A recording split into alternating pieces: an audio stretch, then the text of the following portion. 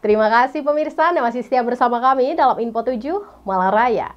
Untuk memaksimalkan pengelolaan sampah secara mandiri dan melayani tingkat desa, TPS terpadu 3R Karyo Guno Tulurejo diperluas dengan penambahan lahan sehingga bisa menerima sampah sekitar 4 ton sehari.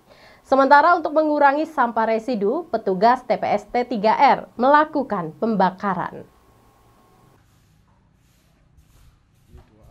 Meningkatkan dan memaksimalkan pengolahan sampah secara mandiri di TPST 3R Karyo Guno, Desa Tulungrejo Bumi Aji Batu, dilakukan penambahan lahan seluas 1.150 meter persegi sehingga akan bisa menampung sampah kurang lebih 4 ton per hari.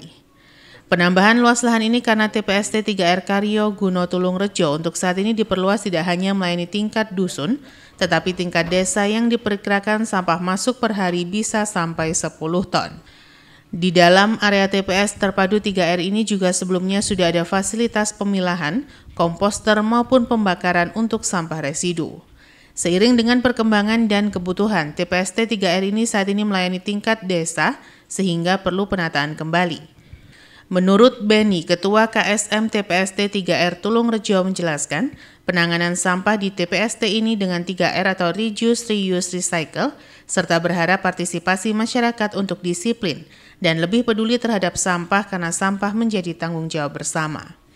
Untuk memaksimalkan fungsi TPST 3R Karya Guno ini, lahan TPS diperluas agar bisa menampung dan mengolah sampah lebih banyak.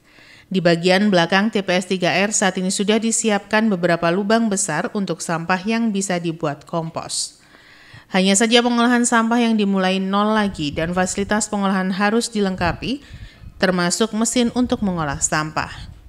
Salah satu kendala yang dihadapi di antaranya tungku pembakaran untuk sampah residu terkadang tidak bisa membakar sampah residu dengan cepat. Contohnya Pampers yang baru bisa selesai terbakar membutuhkan waktu tiga hari. Keberadaan tungku pembakaran cukup membantu untuk mengurangi volume sampah residu. Hanya pembakaran secara manual ini tidak bisa membakar sampah residu tertentu dengan cepat sehingga bisa memperlambat proses penanganan volume sampah residu. Ya kita sementara ini kan masih mengawali lagi jadi yeah. kita memilah coba kita pilah kita pisahkan residu sama sampah-sampah yang lain yang nggak bisa apa nggak yeah. bisa hmm. dihancurkan ya dia kita pilah dulu. Untuk satu tulung rejo ini Pak, uh, sampah yang hasilkan sehari berapa nih Pak rata-rata? Kalau sehari perkiraan perkiraan sekitar tiga ton.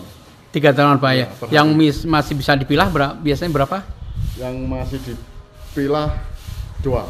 Dua. Separuh, separuh ya. Separuhnya. Separuh, Berarti separuh. yang sisa sebagian komposter? Ya, sebagian lagi kita sementara kita bakar aja. Oke, kita bakar Pak ya. ya. Untuk yang belakang buat apa ini Pak yang pelebaran yang belakang itu? Itu sebenarnya kita ada program untuk komposter. Ya, ya mm -hmm. gitu kalau pemilihannya sudah detail ke depannya kita gunakan untuk komposter. Ini alat pembakaran juga masih anu ya, tunggu ya, masih tungku masih aktif. Iya. Dan masih ada apa kurang maksimal masih ingin kurang ada pemenan. Iwan Hikmawan melaporkan.